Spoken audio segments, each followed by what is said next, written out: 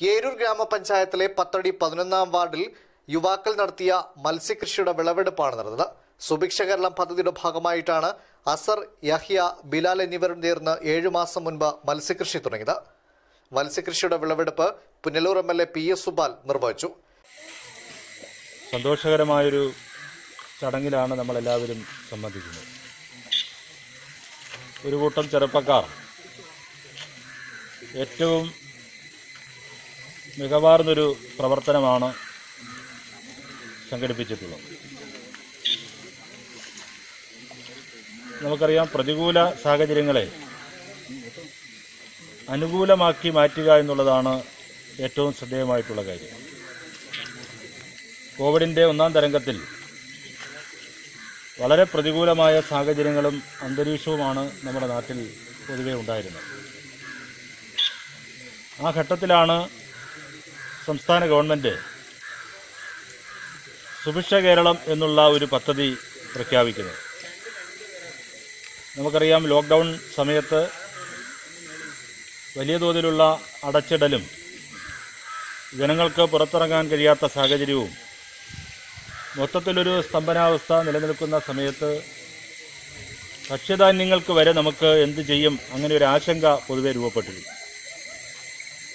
ചരക്ക് വാഹനങ്ങൾ പോലും വരുന്നതിന് പരിമിതി ഉണ്ടായിരുന്ന ആ സഭ സമയത്ത് നമ്മുടെ കേരളത്തിലെ ജനങ്ങൾ പട്ടിണി കിടക്കാൻ പാടില്ല.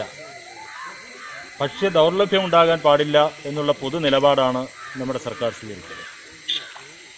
അതിന്റെ ഭാഗമായിട്ടാണ് സുഭിക്ഷ കേരളം പദ്ധതി എന്നുള്ള ഒരു പദ്ധതി പ്രഖ്യാപിച്ചത്.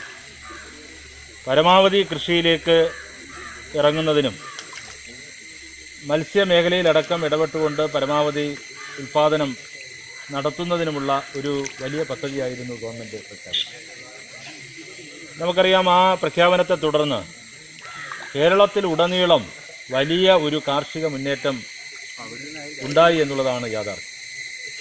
കാർഷിക മേഖലയിൽ ഇറങ്ങിയിട്ടില്ലാത്ത ആളുകൾ പോലും ആ മേഖലയിലേക്ക് കടന്നു വരുന്ന സാഹചര്യമുണ്ടായി ഒരു വലിയ കാർഷിക മേഖലയിലെ പ്രവർത്തനമാണ് നമുക്ക് കാണാൻ കഴിഞ്ഞത്. അതിന്റെ ഭാഗമായി ചെറുപ്പക്കാരടക്കം മുന്നോട്ട് വരുന്ന അനുഭവമാണ് ഉണ്ടായത്. പ്രോത്സാഹനോ പ്രോത്സാഹനം അല്ലാതെ മത്സ്യത്തിന്റെ വിലയായിട്ട് കൂട്ടുണ്ടോ.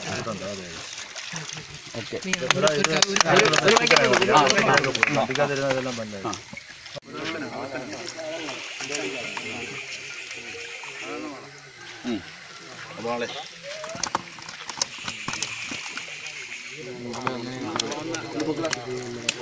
ഏരൂർ ഗ്രാമപഞ്ചായത്ത് പതിനൊന്നാം ward member A B Nazeer അധ്യക്ഷനായിരുന്നു. സി പി മണ്ഡലം സെക്രട്ടറി ലിജു ജമാൽ തുമ്പോട് ഭാസി എന്നിവർ സന്നിഹിതരായിരുന്നു. Fox T V news bureau Eroor.